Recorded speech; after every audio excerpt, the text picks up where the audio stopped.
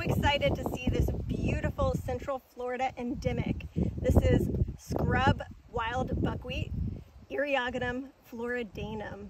And we only have two species of buckwheat in Florida, and this species is the only one that's endemic to Florida.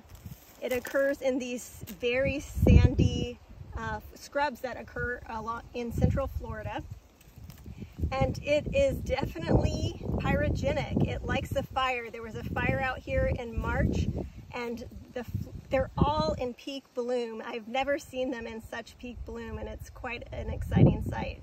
So Eriogonum is very diverse out west, but it's uh, not very common. There are only a couple of species in the east on the east coast. But interestingly, the type specimen for the genus Eriogonum is Eriogonum tomentosum, which occurs in Florida.